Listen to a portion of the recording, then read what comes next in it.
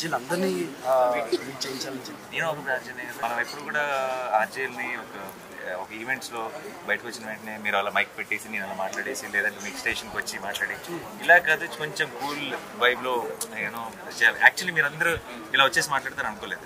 చక్కగా మీరు ఎవరి దగ్గర ఏ టేబుల్ దగ్గర ఉంటే నేనే వచ్చి మీ అందరితో మాట్లాడి want all of you to chill like మీరందరూ ఫ్రెండ్స్ చిల్ అవుతున్నట్టు మధ్యలో మన పని మనం చేస్తాం.